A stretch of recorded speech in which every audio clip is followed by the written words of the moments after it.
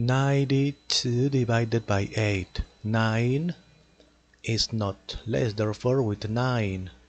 8 multiplied by which number is nearest to 9 but not greater.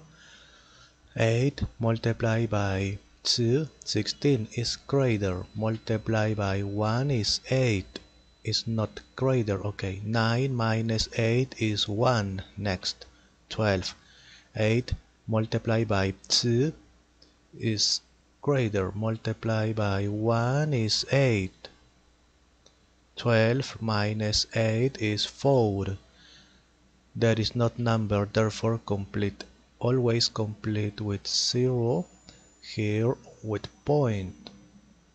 0 point okay. 40 8 and multiply by 5